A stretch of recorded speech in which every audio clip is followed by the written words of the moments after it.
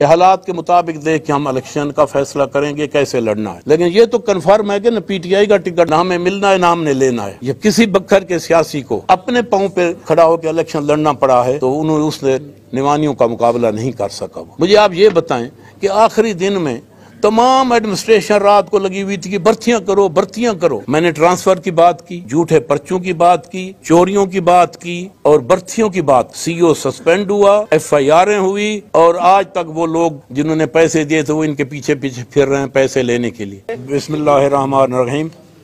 सबसे पहले तो मैं अपने तमाम साफ़ी अजीज़ों का, क्योंकि मेरे तो सारे अज़ीज़ हैं उनका दिली तौर पे मैं शुक्रिया अदा करता हूँ कि वो यहाँ तशरीफ़ लाए।